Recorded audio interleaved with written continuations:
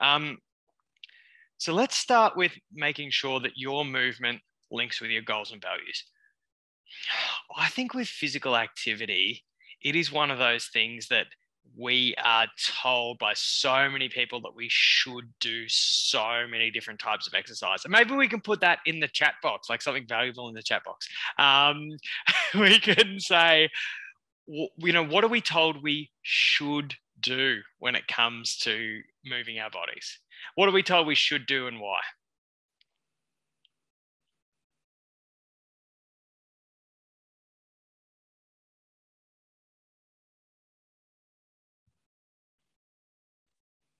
yeah, got to do an hour. And that might be got to do an hour because if you don't, you don't burn, you don't get into fat burning zone. Got to do 10,000 steps a day. Got to do 30 minutes. Got to walk at a fast pace to make it count. Yep.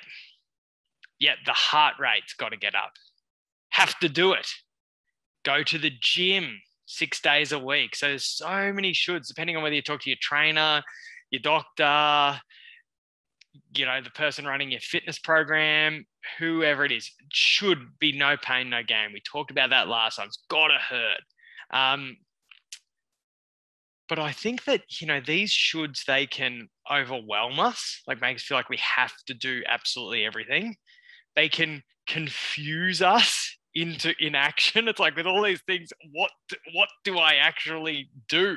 Um, and they can also just lead to doing things relatively inefficiently. You know, trying to do everything that we should do rather than what will actually serve us and get us towards our goals and be something that we enjoy.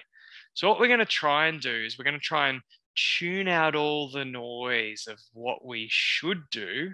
And as often we do, listen to ourselves as to what is actually going to match our goals, what we want to get out of movement, and our values, why movement is important to us.